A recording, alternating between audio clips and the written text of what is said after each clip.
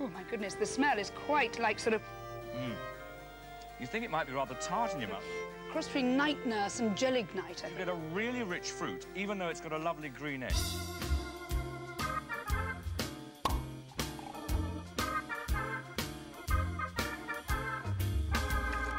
Wow, that is absolute shite. Supermarket shite.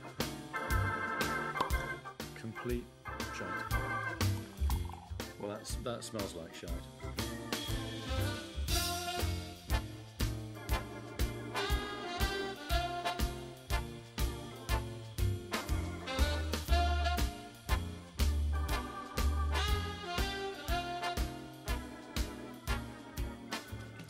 Financially, I'm taking a big risk, but if I if I can't produce a wine better than this shit, I might as well pack up and go home and do something else.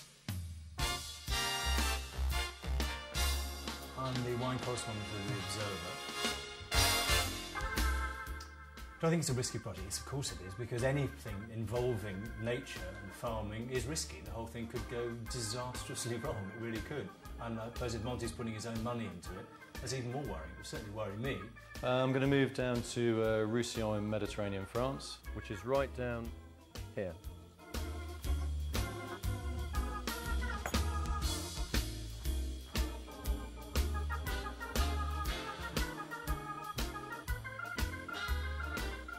Bonjour. Um, I'm off to see a guy called uh, Jean Plat. He's got loads of contacts here, and he's he's the key man for me because he knows he knows all the vineyards that are up for sale, and hopefully he can find me one. Bonjour, je m'appelle euh, Monty. Oui, Euh, vous êtes Jean. oui. Ah. Il y en a une en particulier qui est juste. Uh, one thing I forgot to mention is I'm going to be doing it uh, biodynamically. Uh, biodynamics is harnessing cosmic uh, planetary forces um, into your vineyard, into your plants to make them receptive to beneficial energies. Frankly, I think it's completely barking mad. Organic wine, pah, load of nonsense. Frankly, you know, you might just as well throw your money away. Right, well, this is the uh, yeah, the, this is the first vineyard. So it's, and the Jean, it goes from how, where, where does the vineyard start and where does it finish? Alors, euh, tu peux voir, c'est un superbe sol de Maury. euh, Uh-huh. là, C'est des schistes. Uh-huh. Et puis, Jean's brought me here because uh, this is um, quite an old vineyard, nice old vines, wide space, easy to work. You get very high yields, and I can certainly make money. It's also got fantastic soil, but it's uh, it's useless because of uh, because of this pylon, But why? because of this uh, bloody great pylon. And uh, why you, you don't? Be- because I'm going to do my vineyard uh, um, biodynamically. I want the moon, I want the lunar influence to be strong here, and with this, Ok. it's just it's just not going to be possible. Pour faire de la production, pour faire de l'argent, Yeah, no, I, yeah, pas I- pour faire la. Yeah, I know I can make money here, but I just can't do it. I can't do biodynamics with a pylon that's going to interfere, interfere with all my lunar cycles. It's impossible. Uh, uh, I can see, I can see why he's brought me here, but it's just, it's just not going to work. This vineyard, I'm afraid. We we got to go and see something else.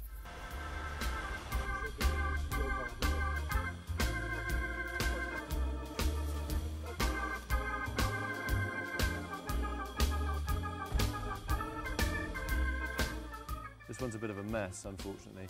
Yeah, this kind of thing. It's, it's a bit sort of scrappy. 14,000 euros.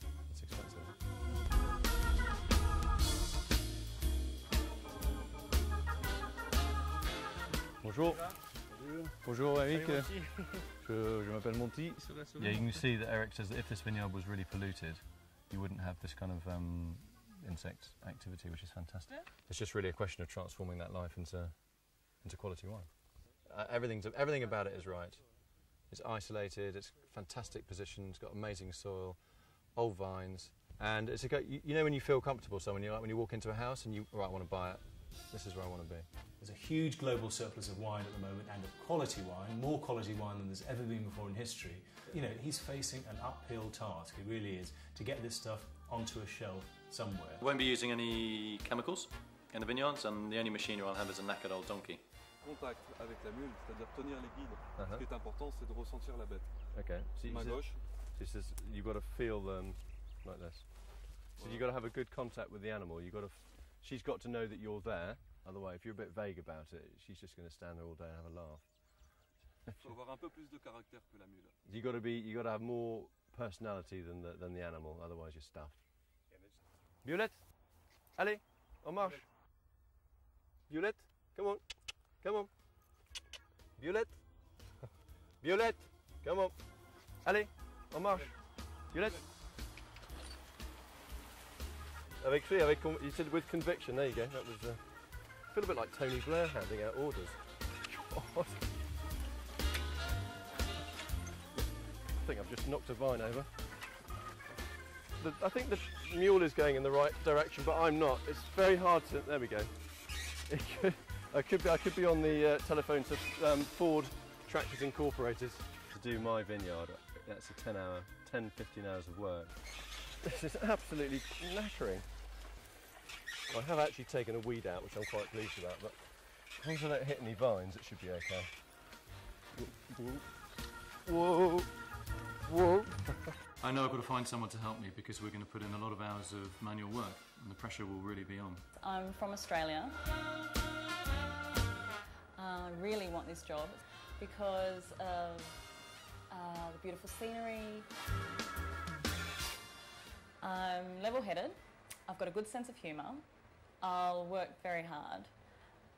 The only drawback could be that I have a bit of a temper. I think this could be a beautiful relationship. Yeah? I'm going to give him a very honest opinion. He'd expect nothing less.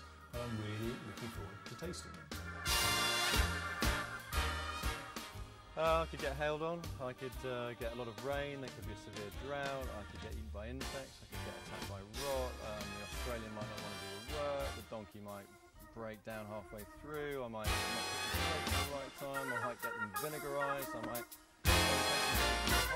might make a crap wine